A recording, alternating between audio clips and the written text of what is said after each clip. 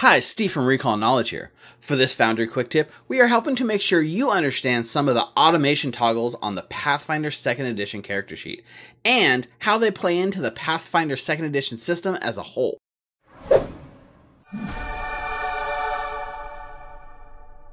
For this video, we are going to be looking primarily at Rogue Sneak Attack, but many of these concepts apply to other skills in Pathfinder as well. Let's start by taking a look at our resident rogue Mukta. Mukta has a class feature called Sneak Attack that all rogues in Pathfinder 2nd Edition get. We can see this represented here under the class features section as Sneak Attack. If we drill down into this Sneak Attack feature, you can see there's a rule element. We can see that the Sneak Attack feature is represented by this code snippet here in the rule element section. Quick note, you can turn on viewing the rule elements in the system settings, advanced rule element UI checkbox here. Note that even if it's not exposed to you, this is how the system is automating things behind the scenes. It's not important that you be able to understand how all of this code works, but what is important to note is that part of this feature is driven by this target flat footed predicate on the rule. So that means in order to add the damage to your roll automatically, the target itself must be flat footed. Now, there are two ways to make sure your sneak attack damage is included with the automation, and I will explain both so you can figure out which one works best for your game. Firstly, you can see a toggle option on the character sheet under the Actions tab. We will see at the top this box that says Enable abilities that require a flat-footed target. When that toggle option is off, if I roll my damage as Mukta, we'll see it only includes the damage from the rapier itself so it should just be 1d6 damage plus dexterity. So we can see here, it's just the physical piercing damage from the rapier itself. If I toggle this to on and roll the same damage again, because now it knows my target is flat footed, now it should also include the sneak attack damage automatically, and we can see it did. If we expand this, we can see it includes the d6 physical damage from the piercing and the d6 precision damage from sneak attack. This is because by including this checkbox, the system is now aware that it should activate this class feature. Now, I will say managing this can be slightly annoying, having to come in here and click on this actions tab directly. So here's a good way to speed it up. In the Pathfinder 2nd Edition character sheet, if you drag any of these toggle options to the box on the bottom, it's going to link a macro directly to that toggle.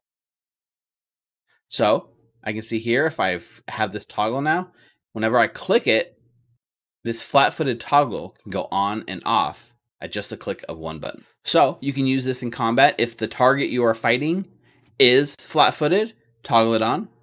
If the target you are fighting is not flat-footed, toggle it off, make your damage roll, and it'll calculate the sneak attack damage automatically.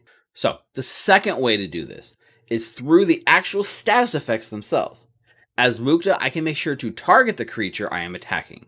Now for players, the default way to do this is by right-clicking the token twice, although I personally recommend using modules like Smart Target that make it easier for players to target things. Once your target is marked, it's up to the GM to go in and mark that creature as flat-footed.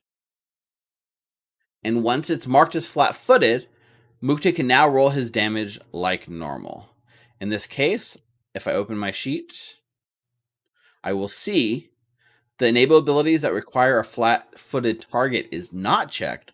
However, when I roll the damage, I will see in the window it includes both the piercing and the precision damage as expected. If the GM goes in and removes the flat footed condition and I roll my damage, we can see it goes back to the single 1d6 damage. So removing that condition ends up removing the sneak attack damage Either approach automates the precision damage from your sneak attack. The benefit of the first approach is that it doesn't require the GM to mark everything flat footed, especially things that are only temporarily flat footed due to flanking. The downside is you have to manually make sure that the correct option is chosen on your character sheet toggle. The benefit of the second approach is that it doesn't require you as a player to manually toggle the feature on and off. However, it does require the GM to be the one managing the flat footed condition across all the enemies, and that can cause some unnecessary overhead on their part. Ultimately, you'll want to find a flow that works for your group. But by using these tools, you will speed up your gameplay and leave more time for sneak attacking goblins with the rest of your friends. Thank you for watching, and until next time, stay healthy and take care. Hi, Steve from Recall Knowledge here. If you enjoyed this content, please make sure to like and subscribe down below so you can get notified of more awesome content coming your way. Also, make sure to follow our channel's Twitter at Recall Knowledge for the latest information. Thanks for watching.